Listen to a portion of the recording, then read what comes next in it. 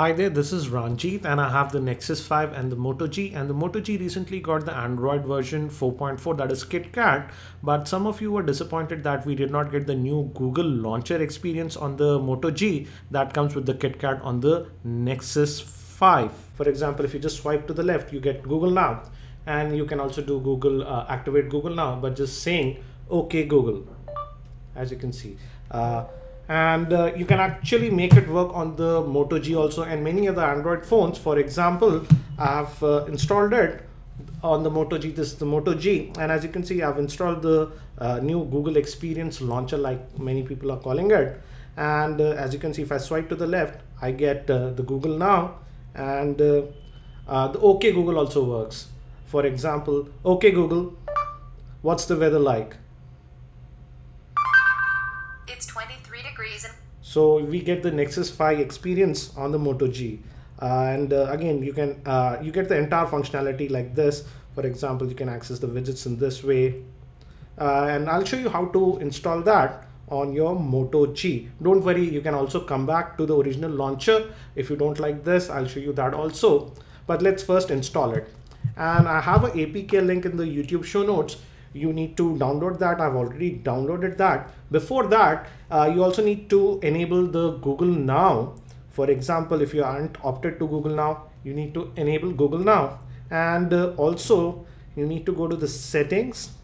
And in the security tab you need to enable this option that is unknown sources. You need to check mark it and uh, now just download the APK file that I have in the YouTube show notes. Uh, I've already downloaded it, so we'll install it.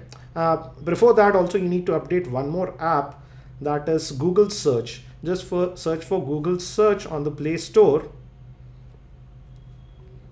and make sure that it is updated.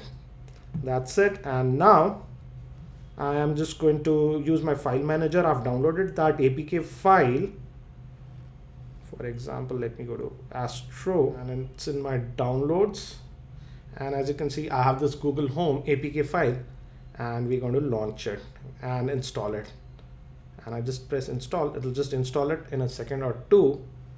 And I need to accept this and the app is installed. We just uh, press done and the next time when you first hit this home button, it'll ask for the launcher and I'm going to select this Google Now launcher. Uh, if you just want to try it once, you can hit the just once, but I'll use it as always. But don't worry, I'll show you a way how to disable it also if you don't want it. We'll set it to always now. Uh, the Google launcher has started and it'll ask you to copy your icons, etc.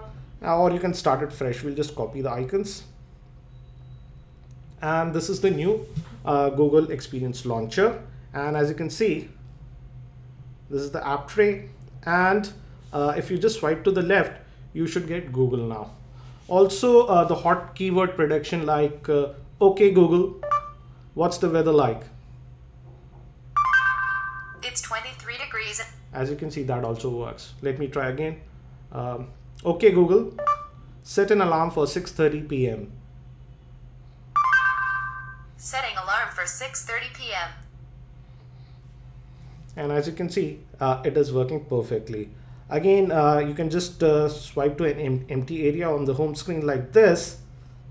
And uh, let's say you want to add, uh, for example, you don't see many home screens here. The thing with the new experience launcher is that you don't have extra home screens by default. Let's say you want to add one more.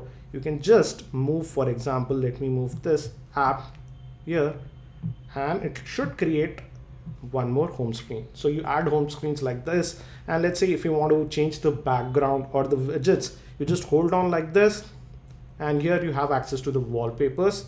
Again it has uh, many of the nexus 5 wallpapers already preloaded. So you can use that for example let's use this one and let's set this one. So we have set that as the wallpaper.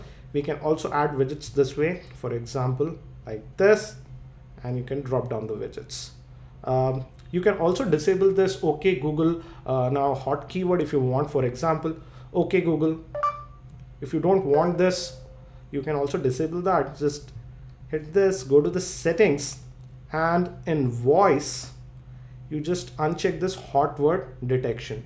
if you uncheck that uh, okay google uh, will not uh, work directly so uh, this is how you set up and use the uh, Nexus, uh, what do you say, Google Experience Launcher on the Moto G. This also works on many other Android phones. For example, I tried it with the Nexus 7. It worked. I also heard that it will also work with the Samsung Galaxy S4, etc.